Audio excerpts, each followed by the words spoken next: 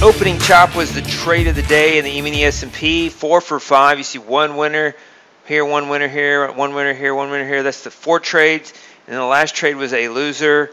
Uh, got short here and then got exit. Exited there. So four for five on the day. Our four new strategies are responsible for the gains on the day. They were up about 4K on the four new strategies, while the actual the trade results were plus 33.75. So the other strategies were down the day, but the four new strategies were up 4K, and so the others were around minus 600 and plus 33.75 on the 250K portfolio, plus 575 on the 50K portfolio, and about $4,000 from an equity peak last seen on February the 21st, and came close on the 9th and the 16th of this month, and so um, we're a little bit behind the hypotheticals since we did a transition into a portfolio with a lower drawdown. We have the updated month to date and year to date results as well.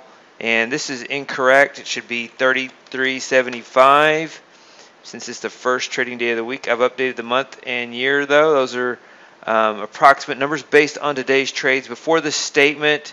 And so let's go over the all the trades on the day. Opening chop, like I said, was a top trade on the day. And then opening chop two had just one trade. Took the long trade here, up on the day, and then tick chop.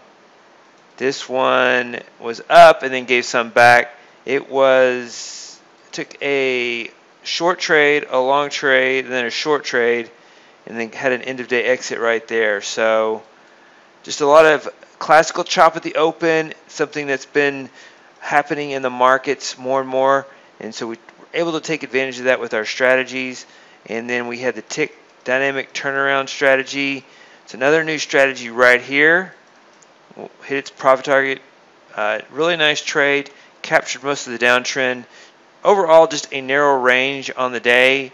Relatively narrow range uh, for this market based on the news events that uh, we're seeing. We have FOMC coming up on Wednesday, so we won't trade on Wednesday.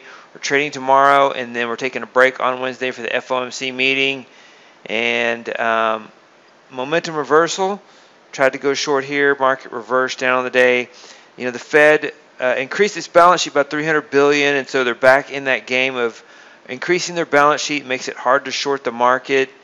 And Cobra 3 hit a nice long trade here, plus 1,075. The S&P was the highlight of the day with uh, four out of five strategies winning today. Momentum reversal was a loser.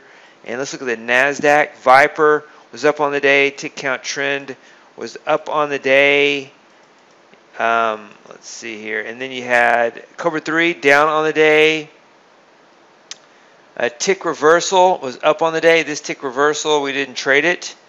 It was up on the day. Uh, momentum reversal NASDAQ was also down on the day. And then tick pulse was up on the day. So those are the trades on the day once, once again. Um, up 33.75, up 5.75, and we are going to trade tomorrow and skip Wednesday because of FOMC. Here are the market internals on the day.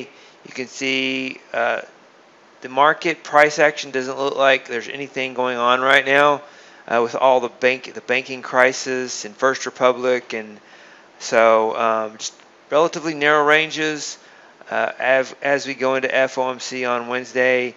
And once again, what those are the trades on the day for Monday, March the 20th, 2023. Hey, David Bean here. Welcome to Capstone Trading Systems YouTube page. Be sure to subscribe to join our community of algorithmic traders. We are real money traders. We share our winning streaks, we share our losing streaks, as well as market updates, strategies, and coding tips.